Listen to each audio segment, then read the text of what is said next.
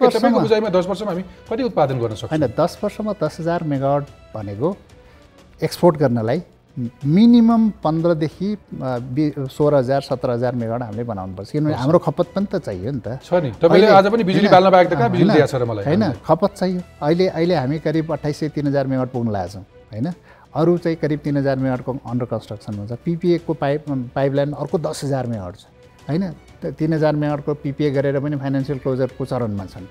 र धेरै प्रोजेक्टहरू चाहिँ स्टडी गरेर रेडी गरेर आएको छन्। पब्लिक सेक्टर हाम्रो चाहिँ प्राधिकरणदेखि सबैले पनि गरि नै रहेछ भनेपछि मैले पन्ध्र सोह्र हजार मेगावाट चाहिँ दस वर्षमा ल्याउनु ल्याउनको लागि कम्तीमा बिसदेखि पच्चिस हजार मेगावाट मैले सुरु गर्नुपर्छ। त्यो सबै त आउँदैन। होइन सबै प्रोजेक्ट सुरु गरेको प्रोजेक्ट आउँदैन।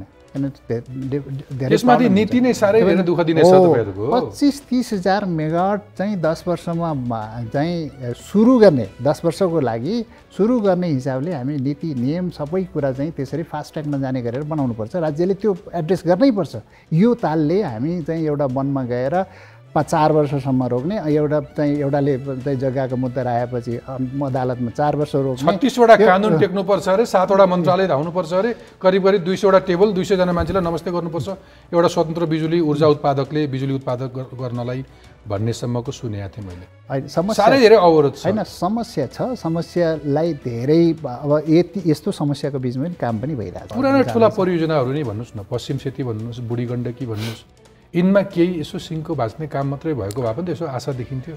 अब यस्तो हो। अब पश्चिम क्षेत्रको बा विषय बुढी गण्डकीको विषय यो रिजर्भर प्रोजेक्टहरूको विषयहरू धेरै नै प्रोजेक्टहरू अब हामीले रिजर्भरतिर फोकस गर्नुपर्ने छ जब मार्केट सबै कुरा इन्भेस्टमेन्ट कुरा वर्ल्ड ब्याङ्क एडिबी भन्नुहोस् डेभलपमेन्ट पार्टनर्सहरू भन्नुहोस् सबैतिरको चाहिँ इन्ट्रेस्ट भन्नुहोस् त्यसको चाहिँ उनीहरूले देखाउने कन्सर्न नै के हो भने मार्केट हो।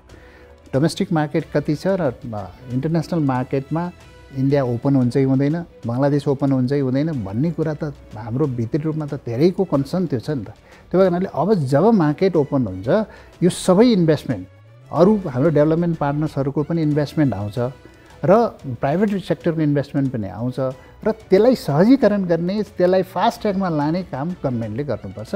त्यति भएपछि गभर्मेन्टले धेरै लगानी पनि गरिरहनु पर्दैन।